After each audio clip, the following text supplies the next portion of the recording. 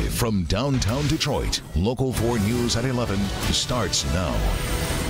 In the showroom, the cars are the stars. In the shadows, something far more sinister. Why the feds were out in full force during Detroit's auto show.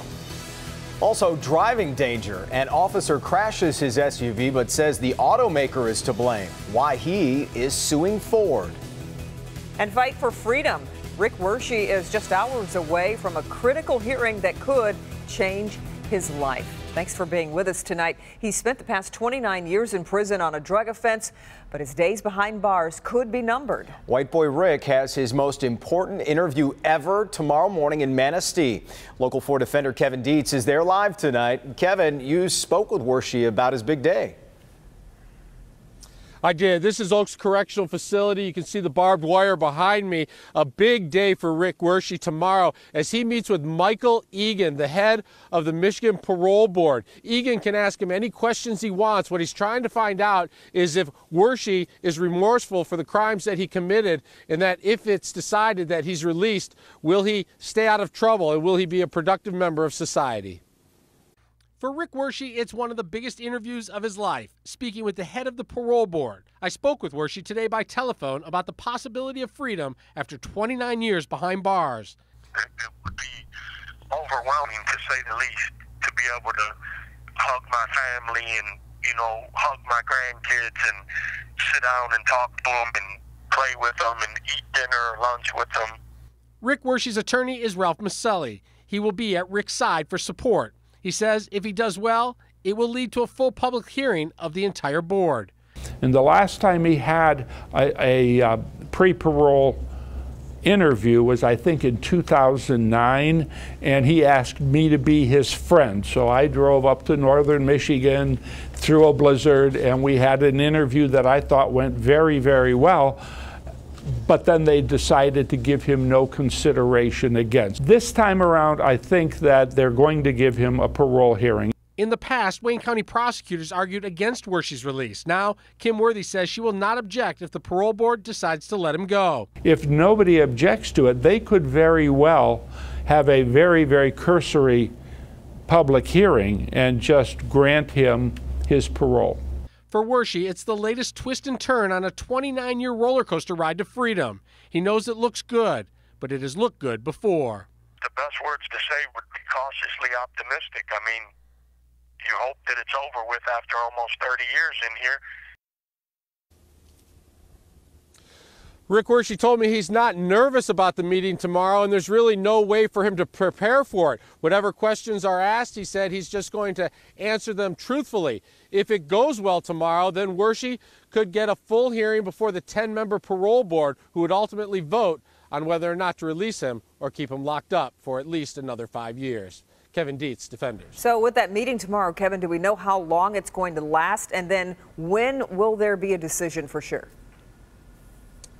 Yeah, so the meeting tomorrow will only be about 45 minutes. It won't be too long. Mm. And Eagen can take as long as he wants to decide. Last time around, uh, they spent almost a full year deciding and then ultimately said no. But all indications are things are going to move much quicker this time. They may have a decision in the next couple of weeks or so on whether or not to have that full 10 member board hearing. Right. And when they do, I know you will bring it to us.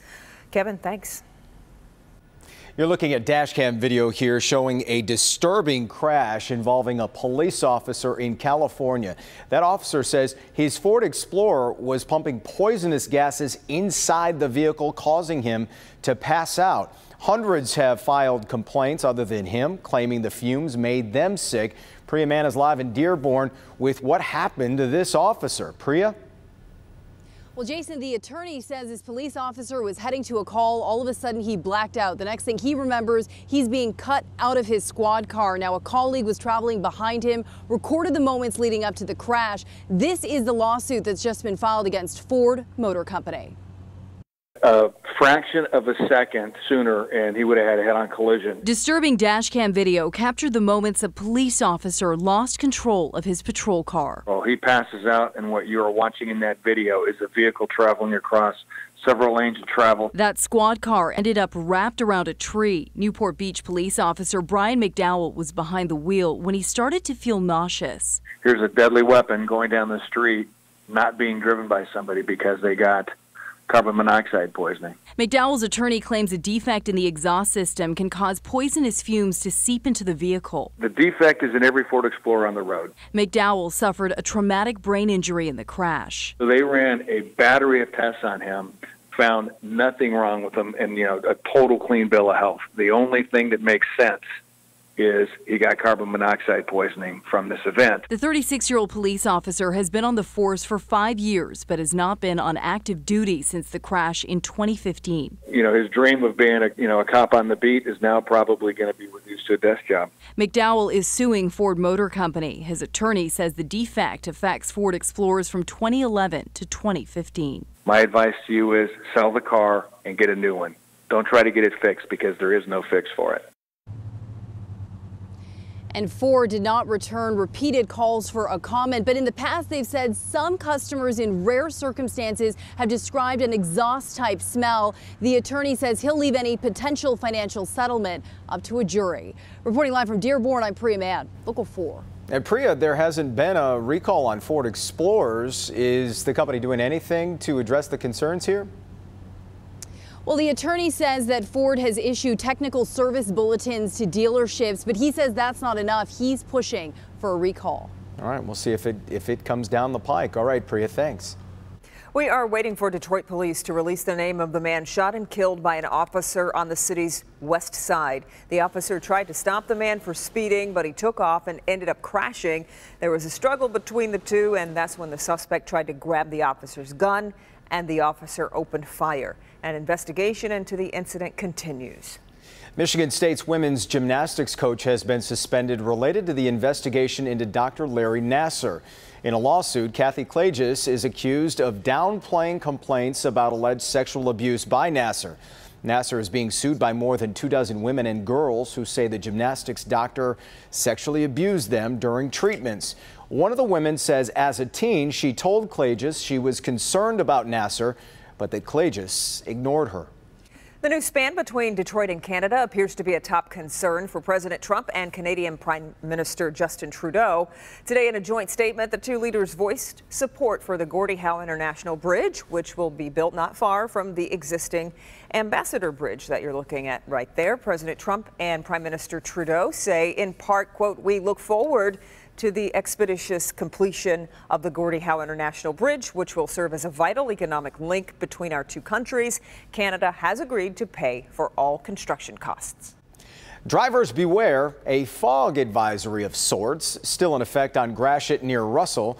Low visibility again tonight because of a water leak underground causing more steam than normal to fill that street and powerful enough, as you can hear there, to rattle manhole covers. Detroit Water and Sewerage expects to have it fixed by the end of the week. Metro Detroiters are paying their respects to Mike Ilitch at Comerica Park. You're looking live right now at the ballpark where a memorial brought hundreds of people out today. You can see a couple of people out there late this hour. Fans have been writing messages and reliving their favorite memories of the Detroit icon. A public visitation will be held on Wednesday at the Fox Theater from noon until 8 p.m. A new face is joining the U.S. Postal Service's Forever Stamp collection. To, yes, today the USPS honored Dorothy Height with the 2017 Black Heritage Forever Stamp. She dedicated her life to fighting for racial and gender equality. The ceremony was held at the Charles H. Wright Museum of African American History here in Detroit. A major change coming to an iconic magazine why Playboy is going back in time. We'll have that coming up. And a big update in the case of a courtroom attack involving a metal shank. What happened today that could steer the case in a whole new direction. Hi, Ben.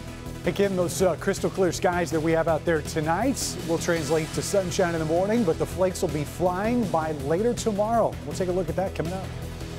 All right, first, flashy cars, bright lights, and a whole lot more. at Detroit's Auto Show. They tend to flock to situations such as that. What the feds were investigating behind closed doors. A defender's special report you don't want to miss next. Glitz, glamour, and guts steal the spotlight, but there's something sinister going on under the hood of the auto show. 14 to 15 potential uh, adult victims of human trafficking. What's really going on behind the closed doors at one of Detroit's biggest attractions? You need to stop exploiting our kids. Tonight, an eye opening investigation into human trafficking during one of Detroit's most popular events. Now that the auto show is over and the undercover operation is complete, the FBI is sharing exactly what happened in the city and the suburbs, and in some cases involving children. Karen Drew has this Defenders investigation. The operation was kept hush hush. 12 to 15 agencies working together during the auto show. Now, typically during that time period, experts say they see an increase of about 150% of people offering sex. The goal of this operation? To stop human trafficking and save lives. It's the time of year when cars are the stars. The world descends on Detroit. Auto show insiders, reporters, prospective car customers. That huge mix of a crowd can be tempting for some. When you're drawing in a large number of people, uh, and more specifically male clientele um, that are traveling away from the family, they tend to flock to uh, situations such as that. Situations like hiring women for sex. But this isn't just a story about prostitution. This is a story about human trafficking. Many of the women trafficked are young girls, minors. There's typically about 200 to 250 uh, advertisements per day. Supervisory Special Agent Michael Glennon is part of the Violent Crimes Against Children Task Force and coordinator of the Human Trafficking Division. The network um, is becoming more and more complex. Glennon says the pimps and human traffickers work together, warning each other online and on social media when the FBI is getting close. The weather reports are police activity, and so there's thunderstorms in Canton, um, or it's cloudy with a chance of rain in Romulus, it's, uh, they're illustrating that there's police presence um, or anticipated police presence, and it's a way of warning everybody. Um, and then they also keep all of our vehicles, uh, many of our tags, they take pictures of them, and they'll post them online. Undercover agents made arrests at cheap motels and fancy hotels. Albeit Southfield to Warren to Sterling Heights or um, down to Romulus. The three day undercover operation was a success. Uh, identified uh, four to five uh, pimps or exploiters uh, and made 22 arrests. Identified approximately 14 to 15 potential uh, adult victims of human trafficking. We were able to uh, recover two children uh, that were involved in uh, sex trafficking. Uh, I think one was 15 and one was 16, and you know they were brought down from a, a city, another city into our area. Once the children and the other women are rescued from the situation, experts came in to help them get their lives back together so they're not victimized again led by the Salvation Army, but uh, Alternative for Girls, um, Vista Maria, and a number of the other nonprofit organizations do an amazing job. Agents will be back to work at next year's auto show, as well as many other upcoming undercover operations. The message they want out? We need to stop exploiting our kids. We're dedicated to eradicating human trafficking within our area. The National Center for Missing and Exploited Children estimates that 10% of those involved in the sex trade industry are under the age of 18. I'm Karen Drew, Local 4 Defenders.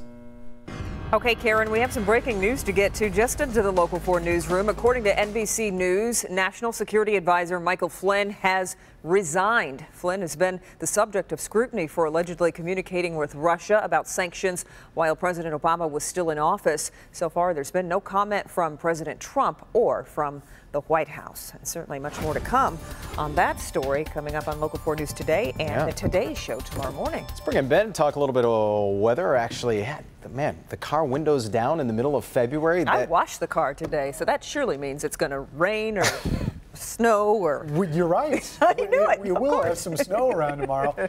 tomorrow will really be the only day that sort of looks like winter here in the next uh, five to seven. Uh, but temperatures right now, 32 degrees is where we're at at Metro. A couple 20s out there. Port Huron at 27, Ann Arbor at 29. We talk about this every time there's clear skies. When you see these two locations get cold, that's an indication uh, that the uh, skies have cleared out, and that's definitely the case out there tonight. Wind chills not far behind those temperatures, just about everybody in the low to mid 20s right now for how it feels.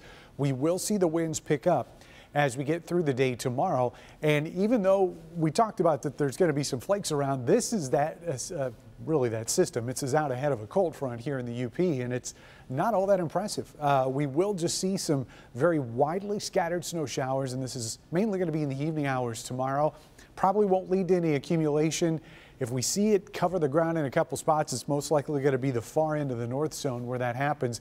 Because remember, temperatures tomorrow still going to make the mid 40s in the afternoon before that snow arrives. So let's time it out here in the forecast as we start out with clear skies in the morning or at least mostly sunny conditions. Then those clouds start to thicken up as we get through the day tomorrow. About 7, 8 o'clock in the evening, we'll start seeing those snowflakes fly. And again, most of that's going to be in the north zone to start. Cold front will push everything down to the south, but behind that front, that's where the colder air sets in, and we will take a step backwards for midweek before we start bouncing up going into the upcoming weekend. So upper 20s tonight for overnight lows. These are the high temperatures in your four zone forecast. Start in the metro zone 45 in Detroit, 43 in West Bloomfield. Generally mid 40s here in our south zone. Warmest temperatures will be 46 and it's going to be right around the Ohio state line. West zone anywhere from 40 in Genesee County to 45 down here in Manchester. And there will be a couple spots here in Sanilac County where you're not going to make it out of the 30s tomorrow.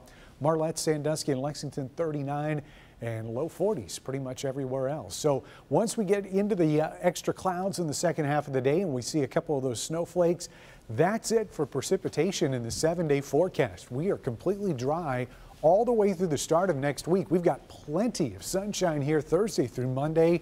And after a couple departures here on Wednesday and Thursday, temperatures really warm up into the weekend. Three days Look of 50s that. and sunshine. I don't know what you're doing, but keep it up. I know, no complaints here. Thank you, Ben. Uh, race against time. What's going on in California tonight to protect residents from a broken dam with more rain on the way? And he tried to attack a prosecutor just before being sentenced, a near miss. Today, a major admission from the man in this video. Next, Hank. He's fun, active, curious, like so many of the other kids at our adopted school, Thurgood Marshall. How old do you think I am? 20 something? Thank you. You're my best friend. But Donovan has experienced incredible tragedy in his young life. For Donovan is alert at the hospital. However, he lost an eye. We knew we could help change his life and restore his confidence, but we had no idea how much this strong, loving kid would change our lives. I didn't know you want to help the spirit and the soul and help my child physically. Join me for a very special Help Me Hank report tomorrow at 11.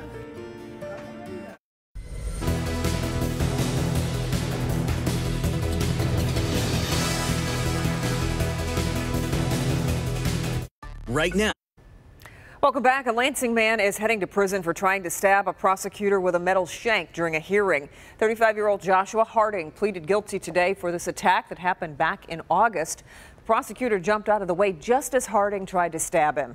Harding was initially in court being sentenced to 19 years for sexual abuse. He'll face additional time when he's sentenced next month for attempted murder. It'll be months before Wayne County finishes vetting proposals for the new jail site. Dan Gilbert hopes to build a new jail in exchange for the downtown Detroit site where he wants to build a soccer stadium. County Executive Warren Evans will present contracts to the County Commission on Wednesday to analyze it. Earlier in the newscast, we told you about a lawsuit filed against Ford by a California police officer. Well, we received a statement from Ford tonight about the case, and they say they take customer concerns seriously and will cooperate with NHTSA on the investigation. In rare circumstances, there have been instances where customers detected an exhaust odor in Explorers, and while it poses no safety risk, they say customers can contact their dealer to address any concerns. Again, that's the quote coming tonight from Ford. Detroit police are pulling surveillance video from several businesses after a Q line streetcar was vandalized with a derogatory anti police message. Police believe it was done by a particular group of vandals who could soon face felony charges. Desperate efforts tonight to prevent a disaster at the nation's tallest dam. Helicopters are being used to pick up boulders with the hope of stabilizing the Oroville Dam in Northern California. Tonight, the state's governor requested federal assistance for three counties in the path of potential danger. Nearly 200,000 residents evacuated yesterday over concerns of flooding, but the state is optimistic in its efforts to contain that threat. Naked women are returning to Playboy. Last year, the magazine dropped nudes to get more readers and advertisers. But now Cooper Hefner, the son of Playboy founder Hugh Hefner, says that move was a mistake, and Playboy is now reclaiming its identity. The magazine's March-April issue cover will feature the headline, Naked is Normal.